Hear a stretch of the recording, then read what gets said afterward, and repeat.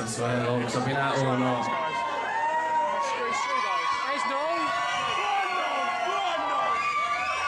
So I thought, yeah, I'll drive home, you know.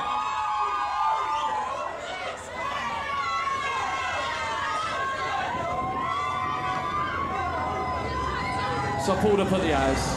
I thought, no, she's not going to be up now. She'll be in bed, man. There's no way she's going to be up.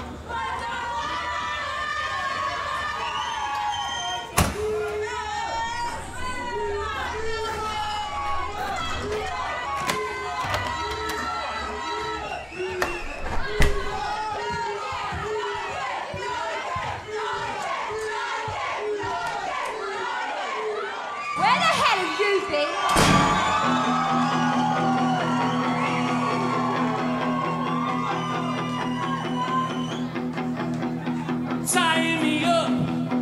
Won't